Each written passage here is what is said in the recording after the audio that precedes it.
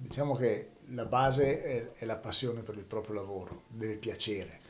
Poi mano a mano le sviluppa. Io sono cresciuto professionalmente in un'azienda dello stesso settore, una bella azienda che era qua in zona e il vecchio titolare che mi ha insegnato sia il modo di lavorare sia il modo di porsi con le persone. Mano a mano ho imparato il lavoro. Il problema del gestire le persone è un po' seguirle e assecondarle.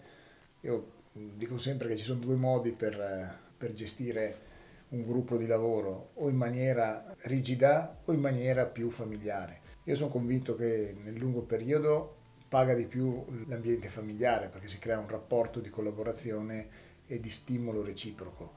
Settore remunerativo, diciamo che io quando ho iniziato a lavorare, a fine anni 90, ho visto la fine del periodo buono di questo lavoro. Per vari motivi nel 2014 ho iniziato con la Termodolomiti, che era uno dei periodi peggiori diciamo, per il settore dell'edilizia. La fortuna è stata che avevo delle commesse importanti da, da, in vista e quindi sono riuscito a partire perché chiaramente un'azienda parte dall'avere il lavoro, tutto il resto gli si costruisce intorno. E una volta mi raccontavano che cantieri grossi, cantieri belli, importanti che venivano acquisiti, festeggiavano, cioè facevano proprio una cena, un pranzo, un weekend, addirittura qualcuno faceva. Oggi il sentimento quando si esce da un ufficio dopo aver acquisito un lavoro, anche magari bello, anche magari prestigioso, quando esco da lì guardo il collega e gli dico, cavolo, adesso però dobbiamo farlo e riuscire a starci dentro. Quindi un giovane che vuole cominciare è un settore che deve piacere innanzitutto, ma come tutti i lavori. Non, non c'è un,